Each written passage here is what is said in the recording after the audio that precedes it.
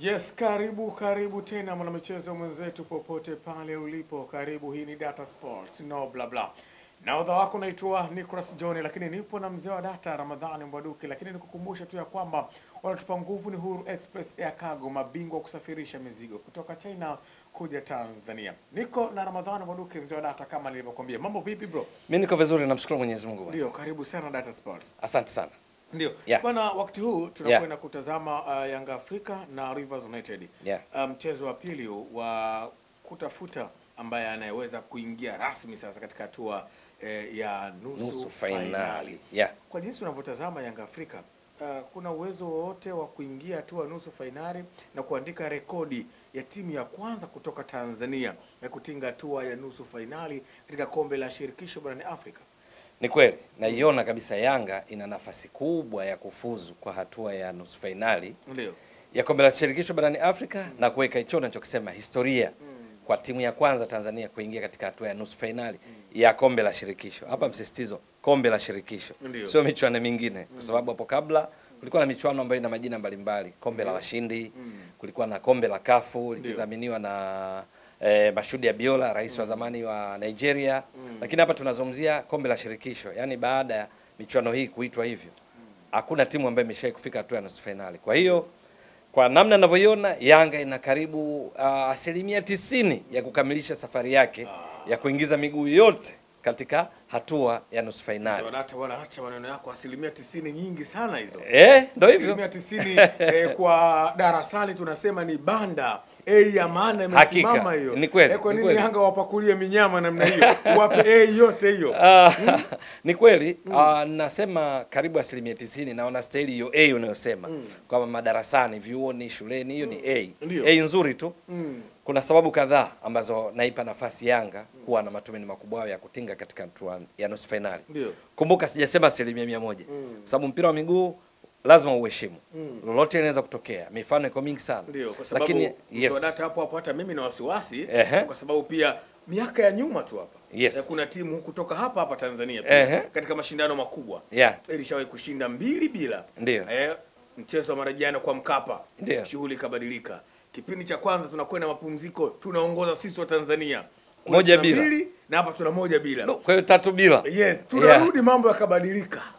Mambo yakawa shagara bagara vile. Maana anasema huu ujasiri wa kuipa Yanga asilimia tisini Yeah. unatokea wapi? uko sahihi kwa sababu mm. katika hiyo unayokumbushia hiyo, mwisho wa siku mm. matokeo alikuja kuwa tatu tatu. Ndio. Kweli timu yetu mojawapo ilifanya vizuri ikiwa ugenini ikashinda mbili bila, hapa mpaka mapumziko inaongoza moja bila, na nina hakika unamaanisha Simba msimu uliopita wakati inashiriki ligi ya mabingwa barani Afrika. Acha kufumba fumba wewe, sasa no bla bla bwana. Ndio. mechi ya kwanza katika zile hatua za awali za kufuzu mm. kuwania kufuzu kuelekea makundi ligi ya mabingwa barani Afrika mm. Simba wakiwakilisha Tanzania kwenye ligi ya mabingwa Simba bora sana ikiwa na wachezaji wazuri sana wakiwemo kina Mixon wakiwemo kina Chama eh, kina Bernard Morrison kina, yes Chris Kope Mushiba Mugalu Ndiyo. walikwenda kule Botswana wakashinda mbili bila dhidi ya Jwaneng Galaxy. Waliporudi hapa kwa Mkapa mpaka half time kweli wanaongoza moja bila, Ndiyo. lakini mwisho wa siku wakaja kufungwa tatu moja. mm. Mechi ika, ikaenda sare kwa matokeo ya jumla ya tatu tatu. Sasa kwa kanuni za CAF, shirikisho la soka barani Afrika, kwa kutumia kanuni wanaita tie breaker rule, ikitokea mmelingana matokeo, basi goli la ugenini linapata nguvu zaidi. Sasa eh, Jwaneng Galaxy walifunga mabao matatu kwa Mkapa dhidi ya Simba tatu moja. Simba wao kule walishinda mbili bila. Kwa hiyo ina maana Jwaneng Galaxy walipata mabao mengi ugenini kulinganisha na Simba. Simba shu, wakatolewa katika ligi ya mabingwa barani Afrika. Ndio. Naona ndo mfano unao- unaozungumzia huo. Mm. Ni kweli Yanga nao mazingira yale yale washashinda mbili bila Ndiyo. Nigeria. Maana yake ndo ile asilimia kumi tunasema kwamba bado na wao Rivers wana nafasi. Kwa hiyo Yanga, benchi la ufundi, wachezaji na kila mmoja asichukulie poa. Mechi haijaisha mpaka ichezwe. Na uzuri wake Yanga wenyewe wamekuwa kiasema hayo. Ndio maana wanahamasisha mashabiki wao wa Tanzania kwa ujumla waende kwa wingi kwa Mkapa kwenda kutekeleza wajibu wao wa kuwa shabiki wa 12 kuiwezesha timu yao ambayo inawakilisha taifa katika michuano ya kombe la shirikisho basi iandike historia kwa kufuzu katika hatua ya nusu fainali ya michuano hii. Unazungumza kuhusu asilimia tisini kwa nini? Ndio. Sorry, ni swali zuri. Kuna sababu kadhaa, mi naona ndio maana nasema asilimia tisini Yanga ni kwamba wameshaingia nusu fainali. ilichobaki ni wao sasa kumalizia hiyo ngwe iliyobaki. hapo Yes. kwenye hizo asilimia tisini bwana, mimi bado ni nyingi sana. Hebu Yeah. nataka utuaminishe mzee wa data, we kipi hasa kinachokupa eh? ya kwanza ya kwanza shehe wangu kwanza kitendo cha Yanga kushinda mbili bila ugenini. Nimetoka mm. kueleza. Ukishakuwa na mabao ya ugenini yanakupa nafasi kubwa kuweza kufuzu kwa hatua inayofuata. Maana yake ni kwamba Yanga wakija kushindwa kumalizia mkia huu yani kama ni ng'ombe umemla bado mkia basi ndo katika ile asilimia kumi ninayoipa Rivers United. Okay. lakini kimahesabu kwenye makaratasi sioni tabu na wala sioni kusitasita kuipa Yanga asilimia tisini. Kwa sababu kushinda mbili bila katika michuano ya mtoano ya kombe la shirikisho yani linalosimamiwa na kafa ambayo kanuni zake ni kwamba bao la ugenini lina nguvu zaidi. Hasa Yanga wamepata mawili sio moja. Alafu wenyeji uh, Rivers United hawakupata kitu. Manake Yanga hapo wana nafasi kubwa zaidi ndio maana naipa tisini. Kumbuka siipi mia naipa tisini. Manake ni uwezekano mkubwa wa kufanikiwa. Ndio. Sababu ya pili, Yanga wanacheza kwao kwa Mkapa, ambapo matarajio ni kwamba uwanja ule, unajua uwezo wake ni kuchukua watazamaji elfu sitini. Sina shaka kwamba uwanja ule utafurika, si ndio? Ukishafurika maana yake yule mashabiki wao wanaitwa mchezaji wa kumi na mbili, kwa sababu ile hamasa yao ile inaongezea nguvu ya kisaikolojia kwa timu mwenyeji. Hapa tunazungumzia Yanga dhidi ya wageni Rivers, ambao hawatanufaika na faida hii katika mechi hiyo. ndio Hiyo sababu ya pili. Sababu ya tatu, hii inaenda uwanjani zaidi. Klabu zote mbili hizi ukiziangalia, ukizifuatilia kuanzia msimu uliopita mpaka sasa, hali zao, Yanga wanaonekana wako juu katika maeneo mengi kulinganisha na Rivers United. Labda hapa nikufafanulie. Unajua Nigeria ligi kuu yao hapa tunapozungumza ni ligi kuu bora nambari kumi na mbili nambari kumi na mbili kwa mujibu wa CAF hapa tunapozungumza ina pointi 25. Tanzania ni ligi kuu bora nambari saba Ndiyo. ina pointi 46 na nusu. Mm. Kwa hapo Tanzania ligi yake iko juu zaidi. yes Sasa Yanga ndio bingwa wa ligi kuu ya Tanzania msimu uliopita, hakupoteza mechi. Katika mechi 30 za msimu uliopita. Yanga ameshinda mechi 22, wametoa sare mechi nane, wakamaliza ligi kuu wana mabao 49, wameruhusu mabao manane tu, kwa wakachukua ubingwa unbeaten, yani bila kupoteza mechi. Katika ligi kuu bora nambari saba barani Afrika. Ndio. Walipata pointi 74. 74 kati ya pointi 90 walizotarajiwa kuzipata kutokana na mechi 30. Maanake tukipima kiwango cha ufanisi msimu uliopita wa Yanga ambao ndio kikosi hiki kinachoshiriki kombe la shirikisho ni kwamba unachukua 74 chini unaweka 90 unazidisha mara 100. Utapata hapo kiwango cha ufanisi performance asilimia 82.222 to infinity. Yes. Around tunasema asilimia 82.2 ndio Yanga hiyo, si ndio? Lakini hata msimu huu hapa ligi inapoendelea, Yanga inaongoza katika ligi hiyo namba saba kwa ubora barani Afrika ikiwa na pointi 68 kutokana na mechi 26 ilizocheza. Ligi bado mechi nne ikamilike. Sasa pointi 68 katika mechi 26 maana yake ilitakiwa Yanga iwe na pointi 78 kipimo kipimo chake kwa sababu 26 ukishinda zote 26 mara tatu watazamaji wako waelewe ni pointi 78. Mm. yes. Sasa Yanga badala ya pointi 78 ina pointi 68. Mm. 68 chini ukiweka 78 watazamaji wako wanaweza wakafanya huo ukokotozi kwenye simu zao au nani kikokotozi chochote kwenye calculator za kawaida. Ukizidisha mara mia moja utapata ufanisi wa Yanga ni asilimia 87.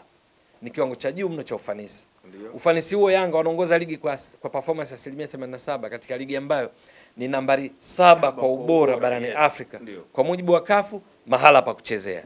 Taasisi nyingine kama shirikisho la soka la kima, shirikisho la kimataifa la historia ya mpira wa miguu na takwimu IFFHS inaitambulisha Tanzania kama ligi kuu bora nambari tano tano, yes. barani Afrika, nambari 39 duniani, Duniani. kwa sababu lenyewe linaangalia vigezo vingi. Pa kuchezea, lakini pia namna gani mechi zenu zinaonyeshwa mubashara, Ndio. yani moja kwa moja na kufuatiliwa na watu kwa kiasi gani.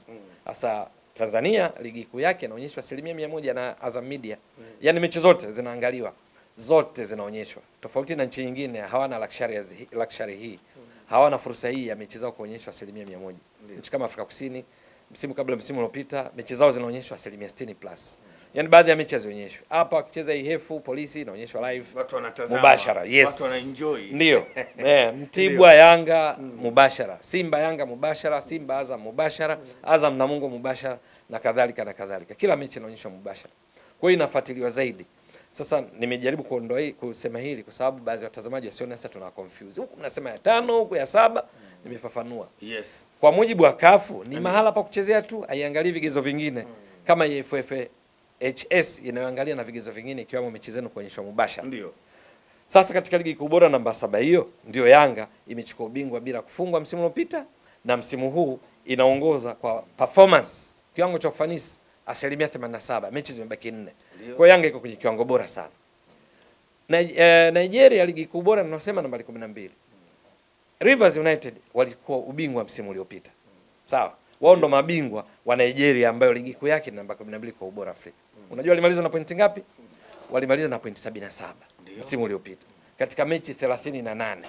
Maana yake wamepata pointi 77 wakati kwa asilimia 100 ilitakiwa wapate pointi 114. Maana yake mechi 38. Sasa wao wamepata pointi 77. 77 chini ukiweka 114 alafu zidisha mara 100 100 ili kupata eh, tunasema kiwango cha ufanisi performance utapata asilimia 67.5439 around tunaweza kusema ni 68. Ndio. Sasa hii ni timu ambayo msimu uliopita imeperform kiwango cha ufanisi cha asilimia 68 katika ligi kuu bora namba 12 kwa sasa inacheza dhidi ya Yanga ambayo im, ina, imeperform msimu uliopita kwa kiwango cha asilimia 82 katika ligi kuu bora nambari saba kwa sasa. Hapa sijui tunaelewana. Nakuelewa vizuri. Hapa tunapozungumza Rivers United, utaratibu wao kwa msimu huu wana makundi A na B Ndiyo. katika ligi yao. Kila Ndiyo. kundi lina timu kumi kumi. Kundi A lina timu kumi, kundi B lina timu kumi. Ndiyo. Rivers United wapo kundi B lenye timu kumi. Wameshacheza mechi 13. Wana pointi 23. Ni watatu kwenye msimamo kwenye kundi lao la B. Badala ya kuwa na pointi ngapi? 39 kwa sababu wamecheza mechi 13. 13 mara tatu ni 39, lakini wao wana pointi 23. Wanaongoza Lobby Stars wana pointi karibu 27. Wanaofuatia wao wana pointi 26. Lakini Rivers United wana pointi 20 na tatu. Tatu, yes. Sasa ukichukua 23 badala ya pointi 39 ulizopaswa kuzipata, kiwango cha ufanisi hapo utachukua 23, chini uteka 39, unazidisha mara 100.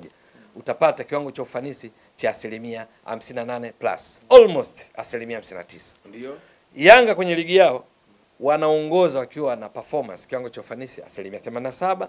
Wale ni watatu kwenye msimamo, wana kiwango cha ufanisi cha asilimia 59. Yes. Unaona hapo sasa? Sasa Kuna tofauti mkubwa. kuna tofauti mkubwa katika ufanisi. Sio hilo tu, hata katika ushiriki wao Ndio. kwenye michuano inayoendelea ya kombe la shirikisho. Katika mechi hizi saba za hatua ya makundi sita na robo fainali moja ile waliocheza kule Nigeria, Ndio. Rivers United wameshapiga mashuti 83. okay. Lakini katika 83 yaliyolenga lango ni 27. Maana yake hapo tukisema kuna kitu inaita shooting accuracy. yani ni kwa namna gani mashuti mnayopiga yanalenga lango. Ndiyo. Utachukua 27 chini 83 mara 100. mm. Utapata eh, almost au tuseme takriban Ndio.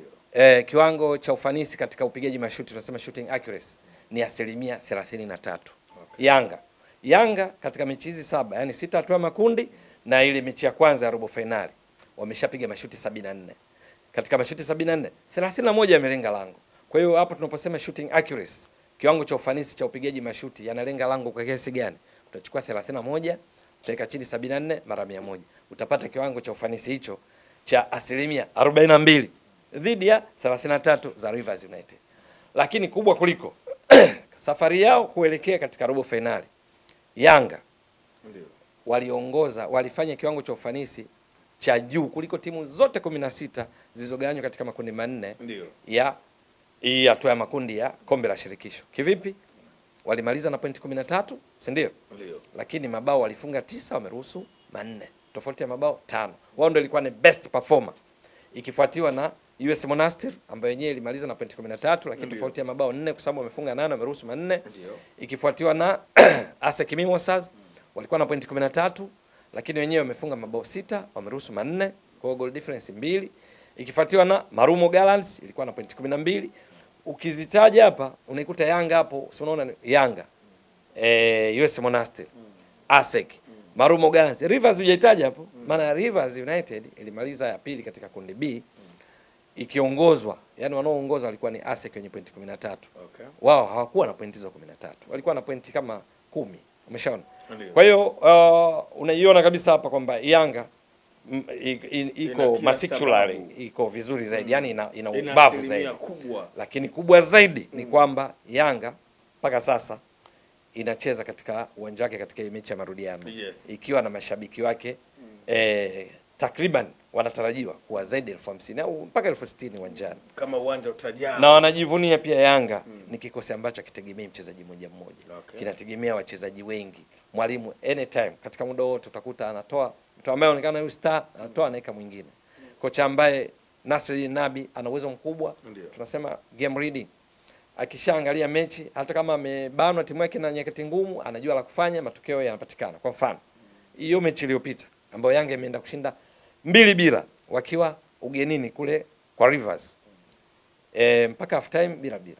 Kipindi cha pili Nabi akatoa masta wake kadhaa wakiwamo Lomalisa Mutambala, Ndio. pasi master namba mbili ndani ya Yanga. Kabla ya kucheza kwa mechi ya robo finali alikuwa ameshapiga pasi 188 kamchomoa. E, yani Kibangala Litombo ndo pasi master wa Yanga.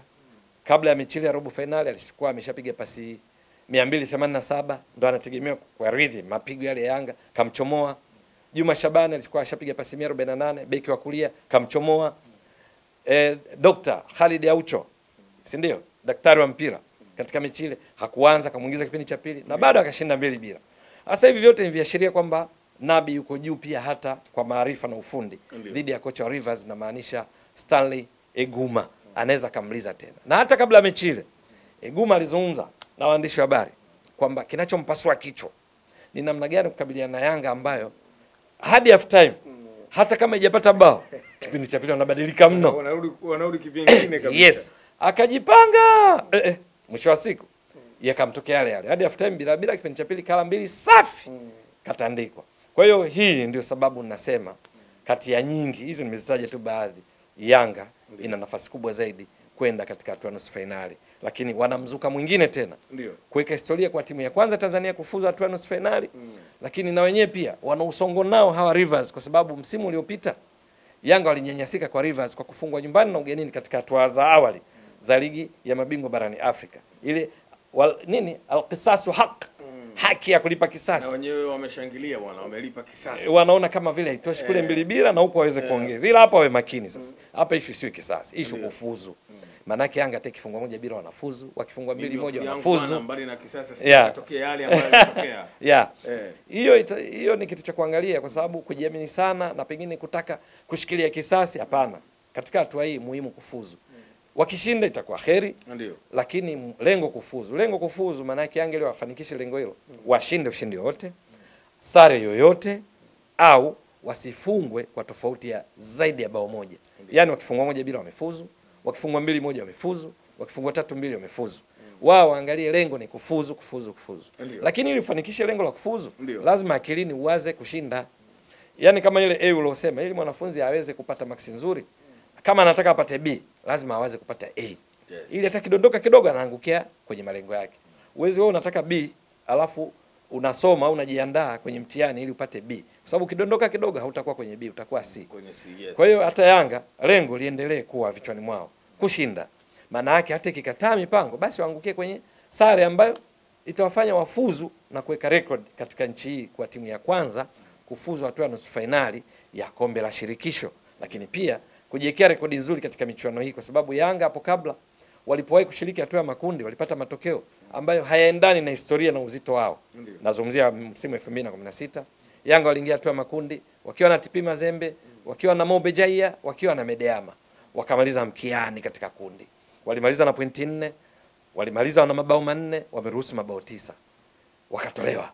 Mwaka 2018 wakafuzu tena hatua ya, ya makundi kombe la shirikisho wakiwa na USM Alger ya Algeria, wakiwa na Rayon Sports ya Rwanda, wakiwa na Gor Mahia ya Kenya, pamoja na kuzungukwa eh, pamoja na kuwa na timu mbili kutoka ukanda wa Afrika Mashariki, bado Yanga walimaliza mkiani, wakamaliza tena na pointi nne kwa kushinda mechi moja, sare moja, wakamaliza tena na mabao manne kama 2016 lakini safari hii 2018 wakaruhusu mabao 13 wakawa mkiani, shh, wakatolewa. Msimu mambo yanaendea vizuri. Hapa tunazungumzia sasa uwezekano wa kutinga nusu fainali. Hizi zote ni sababu ambazo naiona Yanga inaweza ikazitumia kwa ajili ya kufanikisha mpango huu wa kutinga nusu fainali. Ndio maana nimeipa asilimia tisini ile swali lako. Ndio maana ukaamua kuimwagia maua kabisa Bana, mimi Yes. kushukuru, lakini bado utaendelea pia kutazama Yeah. eh, mchezo huo Yeah. kwa engo tofauti tofauti. Kwa hiyo pia hata mtazamaji wetu pia asibanduke, ili turejee tena hapa kwa ajili ya kutazama engo tofauti tofauti kuelekea kwenye huo mchezo. Bila shaka nipo.